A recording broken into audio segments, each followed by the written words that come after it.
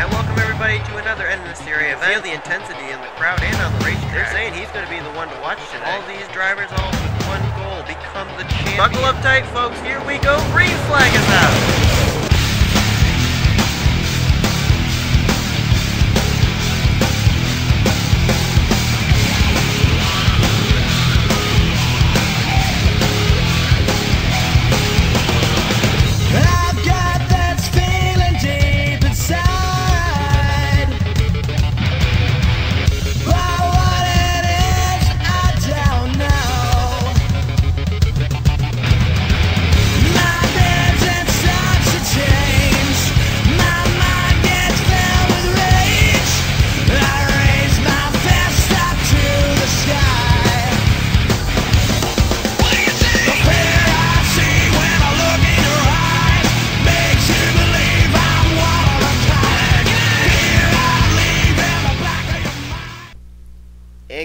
Everybody. Welcome to Las Vegas Motor Speedway as we now prepare for Snickers Cup Series action here from the home of the Neon Garage. Under the lights tonight, 427 laps of racing and about a 30, I believe it's a 34, yeah, 34 car field getting ready to take here tonight to this racetrack. This racetrack's brought about quite a few unusual finishes. We're going to have to see if tonight the same deal will happen here for Snickers Cup Series cars. We saw one big characteristic in the Mobil Cup series of drivers taking a little too hard into the corner. They'd slip up the racetrack and have to try and work like the Dickens to keep their car from hitting the outside retaining wall. Let's see if the same thing will happen here tonight. Bob Fergus picks up his first Snickers Cup Series pole of Season 4, starting on the front row. Alongside of him is going to be Alexandra Williams in the 48. Then you got Max Skinner, our Daytona pole winner. He is going to start off in third. Alongside of him is going to be Felix Harris in the 72. Last week's winner at Phoenix, Arnold Columbia, he'll roll off from the eighth position. And current points leader as well as rookie points leader, Rhett Yates, the 21, will start off from position number 14. So we're going to have to see how he'll do today. Can he keep up the work he's been able to do so far? Here we go, getting ready to roll off. Fergus, Alexandra Williams, and all Chevrolet front row. Everybody looks like they're clean coming off of pit road, so it looks like all 34 cars will come take the green flag. And let's show you tonight's starting lineup from Las Vegas.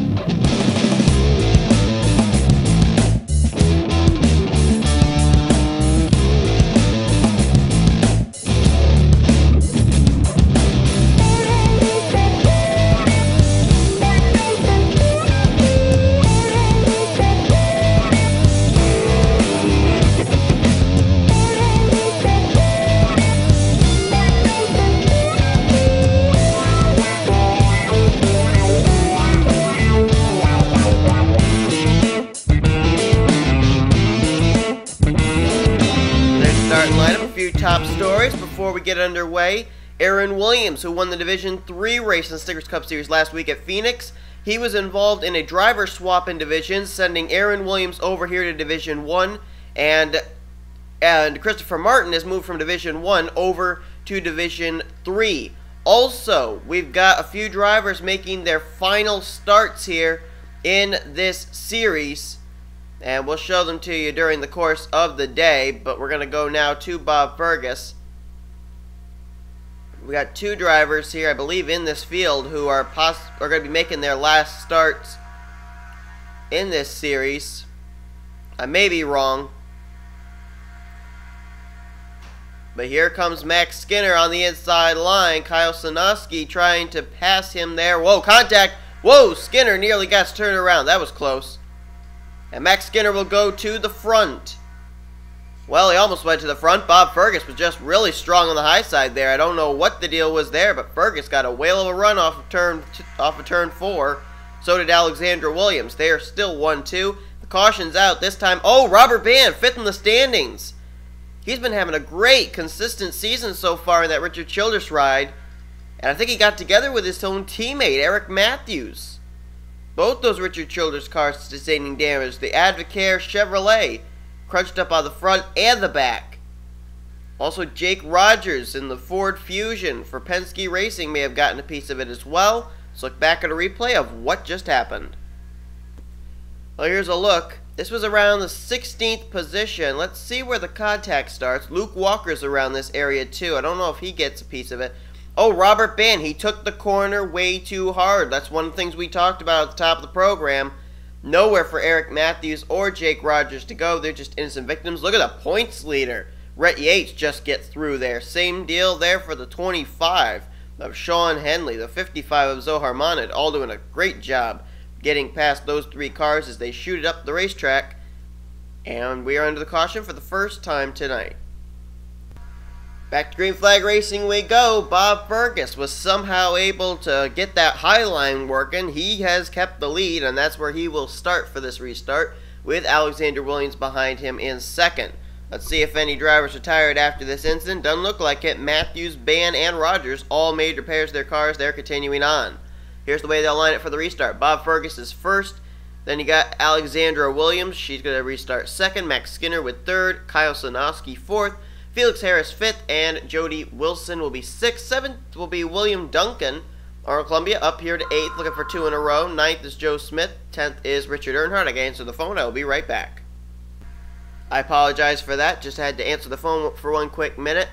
11th place is going to be Logan Ryan, Leo Rogers 12th, 13th Ricky Hawke, 14th Luke Walker, and the rest of the top 15 would be Justin Acosta. Here's one of these drivers I was talking about in his final ride, or his final start of the Snickers Cup Series of this season, the 99 of Jason Marshall. Due to Marshall closing his account, that ride will be vacant, and you can't sign up for it because there are a whole bunch of people who signed up on the reserve list. There's going to be a video coming out on who's going to take over that ride very, very soon, maybe today, if I'm able to get around to it. Okay, here we go. Bob Fergus getting ready to get us back underway, and here we go. Fergus with the lead. Look at Alexandra Williams, though. She's trying to go to the high side. Now tries to slingshot down low. Almost didn't pull it off. Max Skinner was almost right there, and here comes Williams to the inside. Trying to give Hendrick Motorsports back-to-back -back wins here in the Snickers Cup Series. Aaron Williams won the Division 3 race for the 88 team at Las Vegas. look at Fergus again using that high line. Boy, he's found something early on here that I don't think we knew about. But off turn four, the high line seems to be the place to work. And so my question is, would somebody notice that and use that in the final lap? And here comes Alexandra Williams getting another run off of turn two on the inside line. This is a battle of the lines right here. And oh, Dillon Young turns Anthony McCurry. Caution. A 24 car cannot catch a break, and right there, he just took Anthony McCurry and gave him a little invitation into the inside retaining wall. Fergus, the leader. Second, Alexandra Williams. How about Jodi Wilson working up to third? Fourth, Kyle Sosnoski and William Duncan. That's the top five. Let's look back at what happened to Columbia and McCurry. And I didn't mean to say Columbia and McCurry, I meant to say Young and McCurry. Here's the contact. Looks like maybe Zohar Mahnud in the 55 starts this. Sends the 61 down the racetrack, and 61 of Anthony McCurry goes off the nose of Dillon Young. Watch the impact right here. Oh, they didn't even hit. They hit the the bent part of that. Oh, and Zohar gets a piece of it. Oh, last week's winner, Aaron Williams, was in it as well along with Jordan Hezter and Diego Ospina and Cade Stewart and Brandon Bayne. I didn't know it was this big a wreck. Oh my. Oh, Eric Burton in the 49, I think, got a piece of it as well back there in the Schwan's Dodge. That was a big wreck, but that was head on into that kind of dogleg area of the safer barrier. Very characteristic of where Jeff Gordon nailed his car once when he drove the Nicorette paint scheme.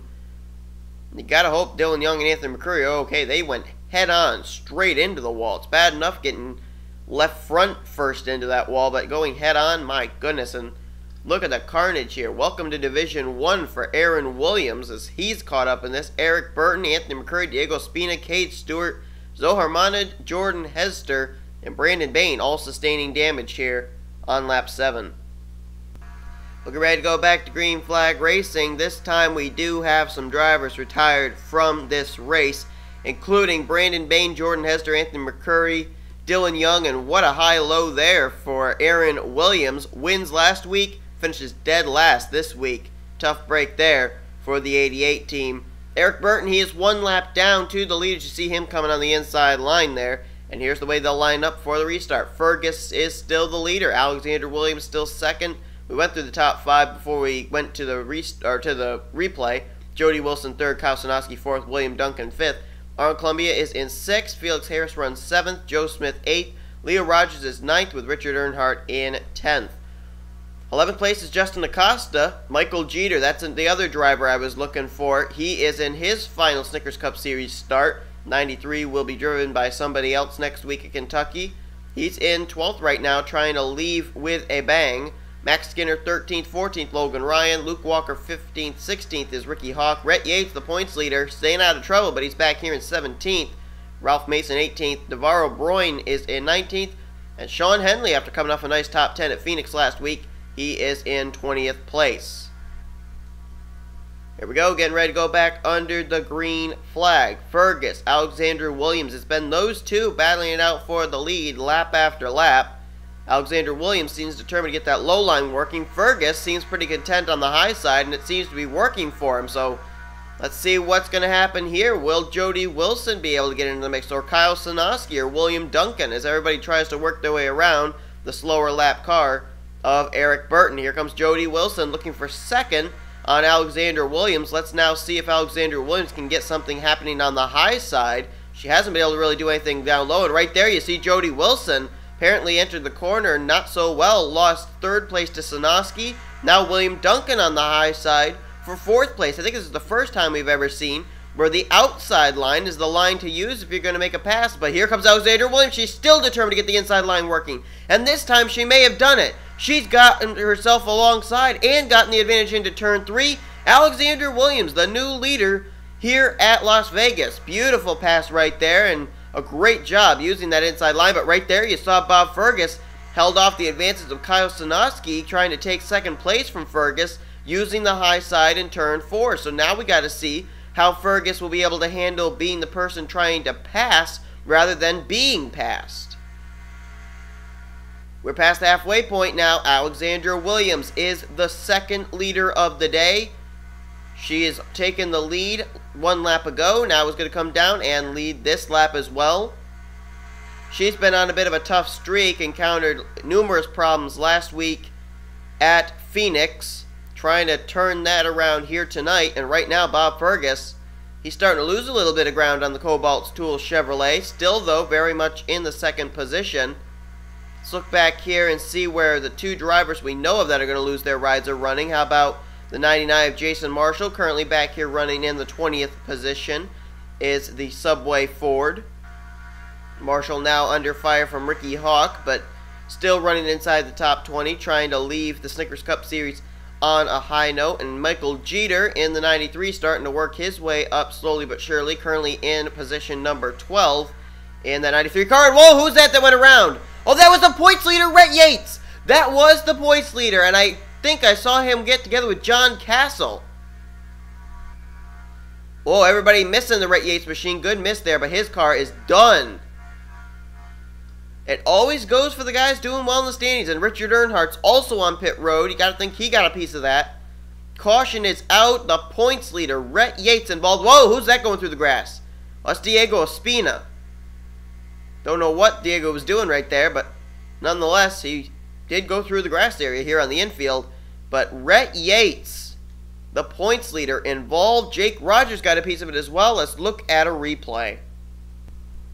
Always seems like the strongest ones go first, and Rhett Yates is no exception. Rookie points leader, current points leader in the standings. Side by side with William Duncan. Duncan's going to make some contact here with Richard Earnhardt. This is somewhere around positions 11, 12, and 13.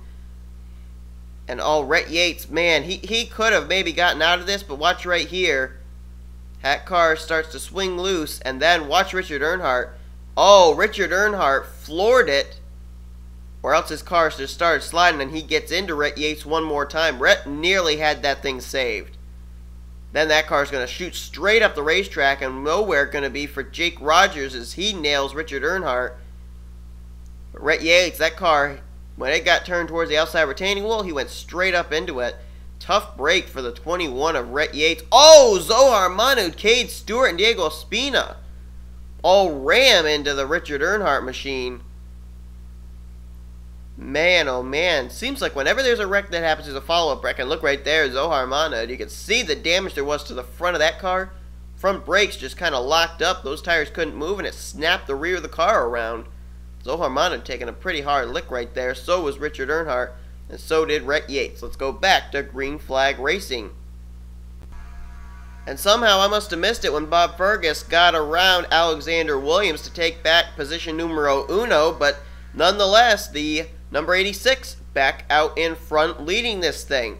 Drivers out after that incident are Rhett Yates, Richard Earnhardt, as well as Zohar Mahnud, Cade Stewart, and Jake Rogers. Now, we will not see Eric Burton lined up on the inside line, even though he is one lap down, because there are ten, less than 10 laps to go. There will be seven to go when we get the green flag once again. Bob Fergus is the leader. Second is Alexandra Williams. These two, Fergus and Williams, they have been the two up front all day long battling for the win, and it may come to a head here in the closing stages of the Halloween 400. Jodi Wilson runs in the third position. Kyle Sosnoski in fourth. Fifth is Felix Harris. Arnold Columbia still there in sixth. Seventh, Leo Rogers. Joe Smith eighth. Good run for Justin Acosta in ninth, and Michael Jeter in his final his final start of the season is in 10th. Devarr O' Broin runs in 11th. William Duncan is in 12th. 13th, Logan Ryan. Luke Walker 14th. Ralph Mason 15th. Shawn Henley 16th. 17th is Ricky Hawke with John Cassil 18th. Jason Marshall 19th. And Robert Ban, our first caution of the day, coming out for the 07. He's back up to 20th as the driver who comes in 5th in the standings. So Robert Ban, if he can pick up a few more spots, he may be able to keep himself a spot in the top 10 in points. Heading into Kentucky as the green flag comes back out. Seven laps to go. Can we race it all under green? I think we could. As Fergus, Alexandra Williams. These two have been battling out for the lead all night long, but now Jodi Wilson starts to come into the picture here. Let's not forget, Jodi Wilson's been to victory lane already this season. It was in the Mobil One Cup Series. So Jodi Wilson trying to be able to win here at Las Vegas in the Snickers Cup Series. As it's a three car breakaway with six laps to go. Here comes Alexandra Williams trying to use that low line again. Fergus will try to get the advantage off of turn two. They are in a dead even heat. Advantage right now, though, is Alexandra Williams heading into turn three, and she will take the top spot. But look at Fergus battling back again. High side begins to work once more for the 86. He will get the advantage off turn four. Down near to the stripe. Fergus leads one more time, but Alexandra Williams continues to hang on that low line. Still side by side, and this time Fergus nearly gets a piece of the wall. He took the corner way too hard that time. Alexandra Williams is by for the lead. Whoa, Fergus gonna get some contact there with Jodi Wilson.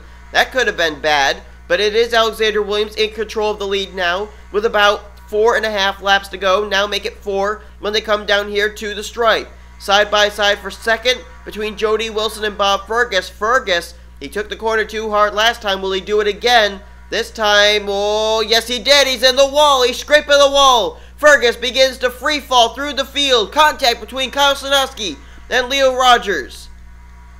And now there's a new second place car in town. It's Jodi Wilson trying to go for a two for three here at Las Vegas. One in the Mobil One Cup Series. She's trying to do it here in the Snickers Cup Series. It's two cars actually, which are kind of Hendrick related. The 48 definitely out of Hendrick Motorsports. The 10 from Stewart-Haas Racing, which gets its equipment from Stuart from uh, Hendrick Motorsports. They are one two. Looks like these two females. They may battle it out for the win. Here comes Jodi Wilson to the inside. Here comes Arnold Columbia into the picture. Look over two wins in a row. He won at Phoenix. Wants to win at Las Vegas. But it's Alexandra Williams with the advantage off turn four. Now opens a little bit of daylight between herself and the battle on now for second between Columbia and Jodi Wilson. About three or four car lengths with about two laps to go.